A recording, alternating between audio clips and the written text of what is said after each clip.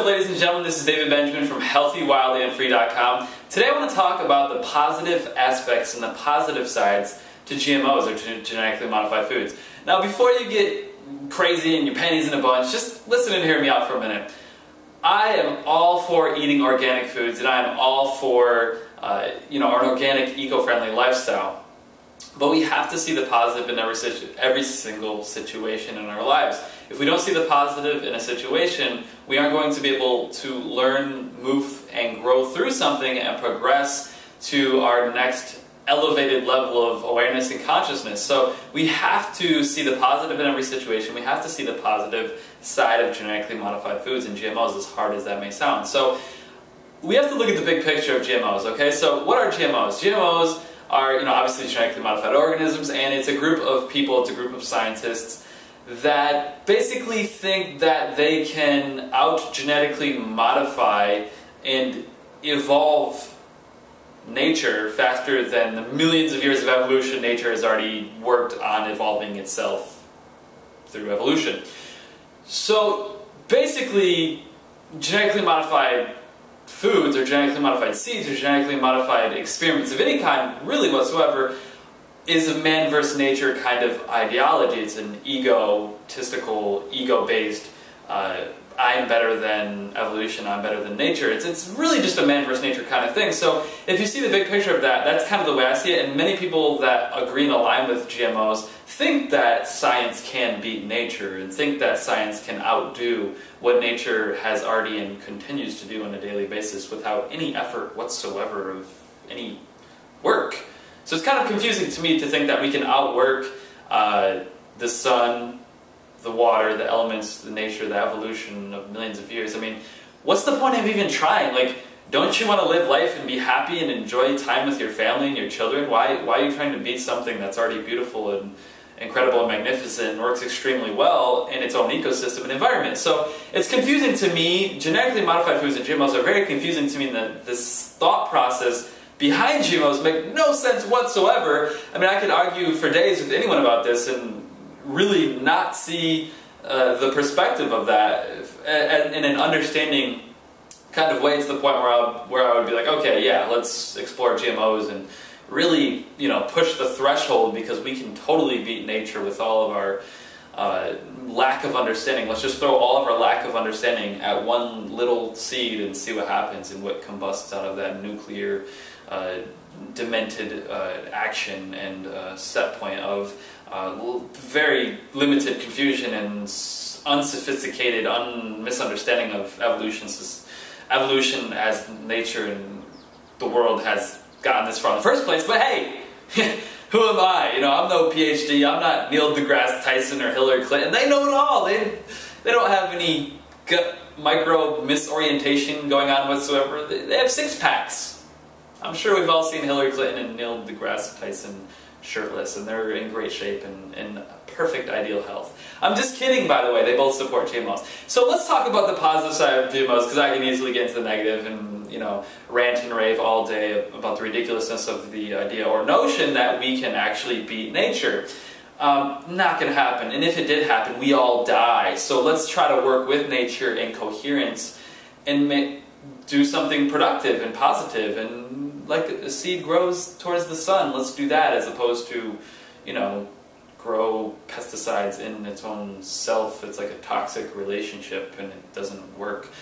So, onto the positive side of things, because once again, I'm getting caught up in the negative. Let's not do that, America and everyone else in the world who wants to be positive and, and uh, you know, progress towards the positive. So, one of the things that I'm learning in my life, and I think we can all learn in our lives, is that we need to focus on the outcome, not the obstacle. And the obstacle to many, the, the mass, the mass health and well-being, the health and well-being of the masses, is GMOs. That's a huge obstacle because people that are eating genetically modified foods are gaining weight. They are, uh, you know, it's a toxicity. It causes pH imbalance. Um, some people, you know, obviously eating a food that produces its own pesticide is not healthy.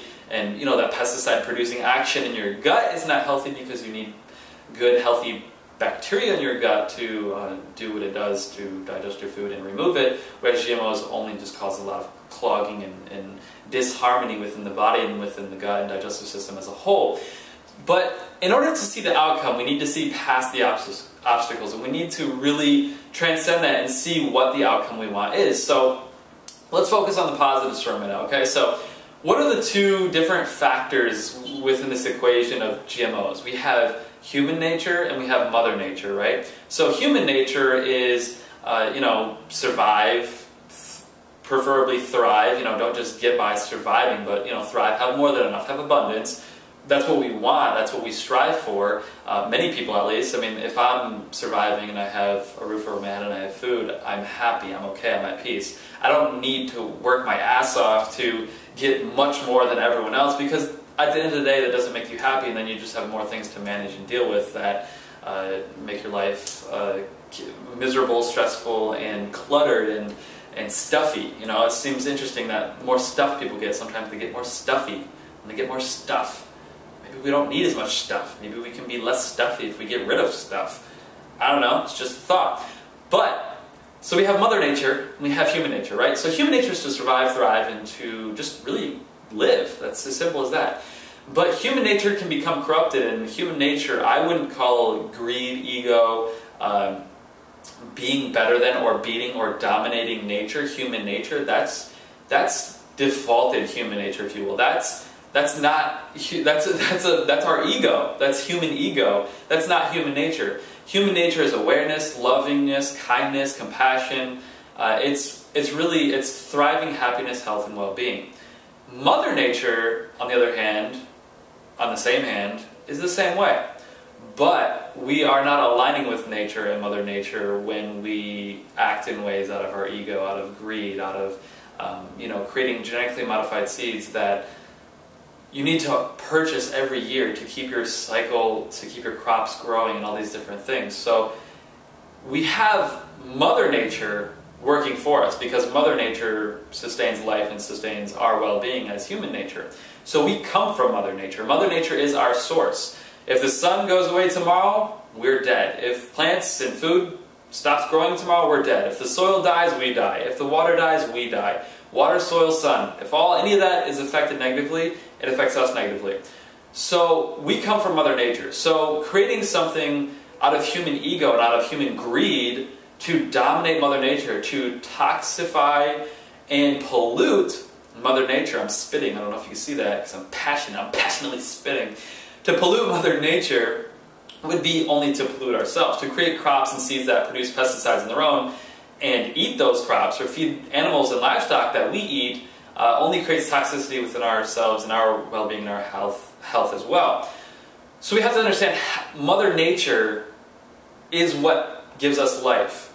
And to tamper with Mother Nature and what gives us life could be tampering with our life and well-being. Now, I'm not opposed to science. I'm not opposed to technology. I'm not opposed to innovation. I'm not opposed to research.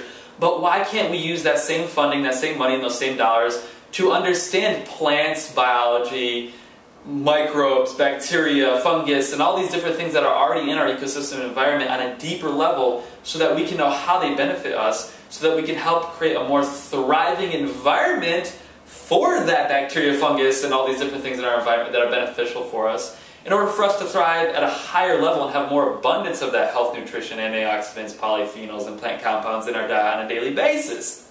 You see, it makes a lot more sense that way than trying to like recreate what's already perfect and beautiful. Why don't we take what we have, utilize and maximize that to the fullest potential that it possibly has, which we aren't even close to doing, because we don't even know whether vegan or paleo is better for diet yet. We still don't really know. And obviously there's no correct answer to that. It's different for everyone, but you see what I'm saying? It, it makes no sense to dominate Mother Nature. So Mother Nature, we have this on our side. Mother Nature has created super weeds, and super weeds are basically a weed that's a super weed, and it literally is fighting genetically modified crops. And if you're not familiar with this, Google it or look it up.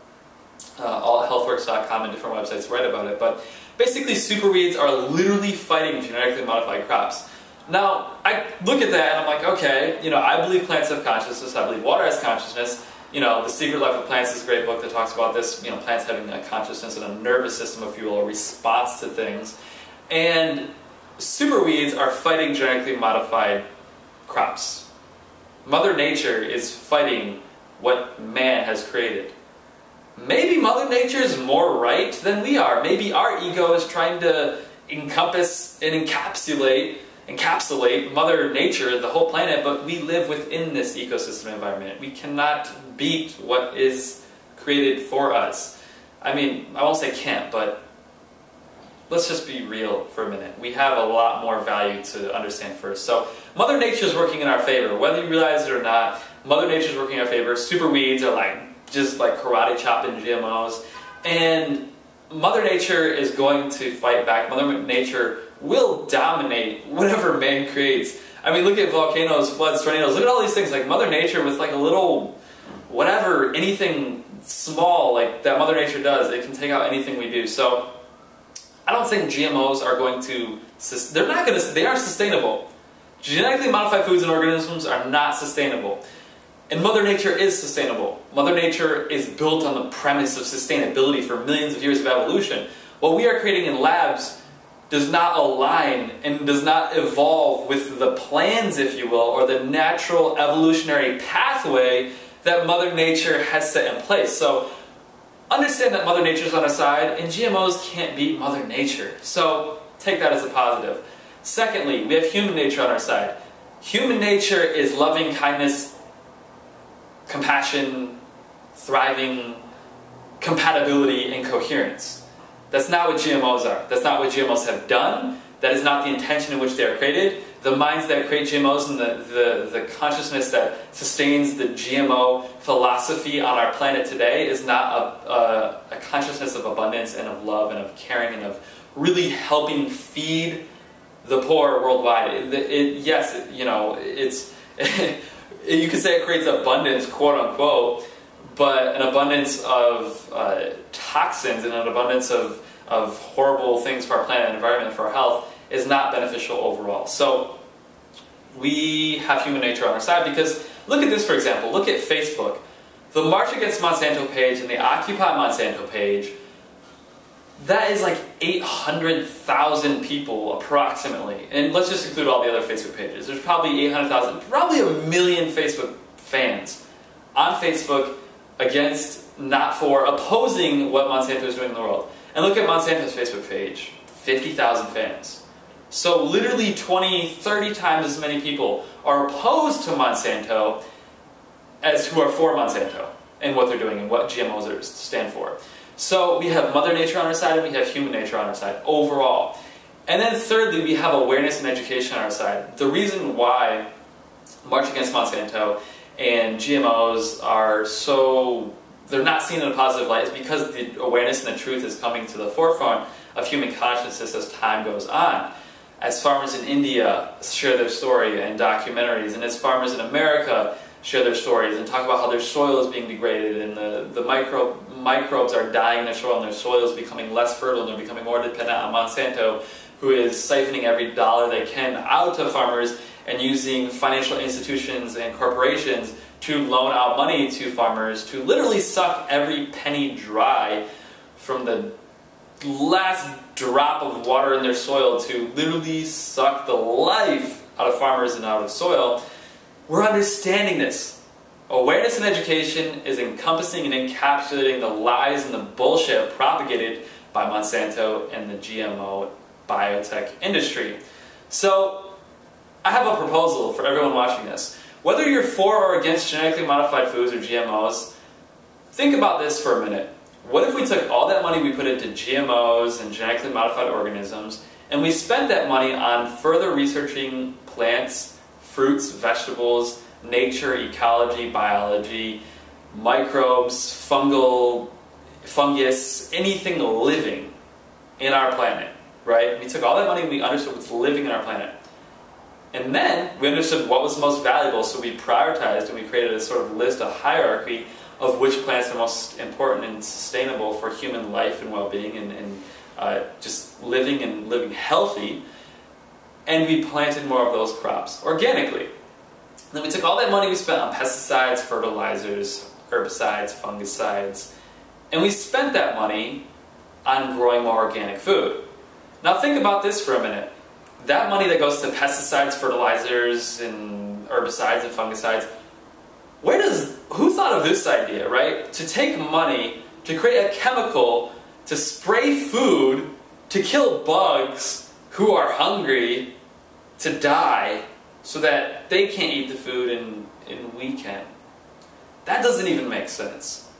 Bugs are part of our ecology, our environment, and our ecosystem. We can't kill bugs and keep our food. It's not a separationist, right-wing, left-wing kind of ideology here within our environment. We need bugs, we need bees, we need our ecosystem, we need all of this to sustain our life and well-being. So why not take that money on pesticides and fertilizers and all this kind of stuff and just plant more food, plant more trees, plant more wildlife, plant more wild food. The bugs can eat all they want, but we'll still have plenty of crops. I mean, yeah, obviously you get a little bug in your food here and there, you know, like you get little holes in your food, whatever. My vegetables don't need to look perfect. I'd rather have a nutritious, nutritious, very densely filled vegetable or fruit with lots of nutrition and antioxidants and things like that than a halfway diluted pesticide, herbicide, fungicide, chemicalized, nutritionally diluted, diluted, really brightly colored fake fruit or vegetable. That's just me. Maybe that's you too. I don't know. But I think we can start to see things differently. GMOs do have their positive. They're helping us evolve and grow as a society, really as individuals. GMOs are helping us grow as individuals. We can see the positive in them. We can see how they're helping us evolve, learn, become more aware, and grow. And hopefully this video, this type of information, will help people like yourself and your friends and your family see what's really going on and see the truth for what it really is and use that in a way to empower you to eat organic, to grow organic, to buy locally, to shop at your farmer's market, and to support the right people, the right ecosystems, the natural, sustainable ecosystems with your money, because that's the only way you can really vote in this life. So, thank you so much for your time. This is David Benjamin from HealthyWildandFree.com. If you enjoyed this video, found it insightful, inspiring, educational, entertaining, or humorous in any way whatsoever, please subscribe to my YouTube channel by clicking the button below. Like this video, leave your comments below, and I will see you in the next video. Take care and have a great day. Bye.